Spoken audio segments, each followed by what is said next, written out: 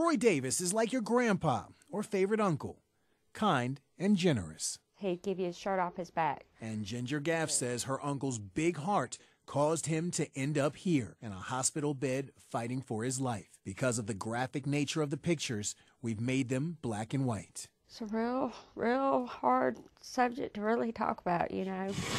Davis says the man who nearly ended his life is named Mark Winder. Oh, I've known him a couple of years or so. He'd come by and help me a little bit and give him a little bit of money to help me clean my garage up to he help him pay probation. Davis says last week, Winder asked to borrow a tire iron. when he married him, when I turned around, I reckon he knocked my brains out with the tar right there.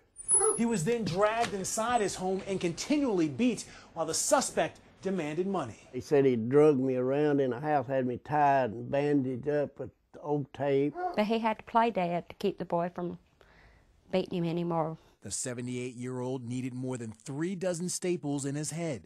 But that's not all. Arm broke. And worst of all, He lost one of his eyes. when Davis finally woke up in the hospital, Ginger says, amazingly, he was his old happy go lucky self. Yeah, he was actually in a good mood. He was flirting like he always does. He was ready to come home. Winder is facing numerous charges, including aggravated assault and aggravated battery.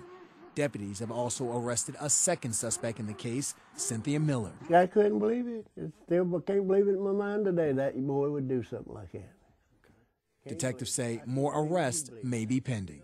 In Newton County, Bernard Watson, CBS 46 News.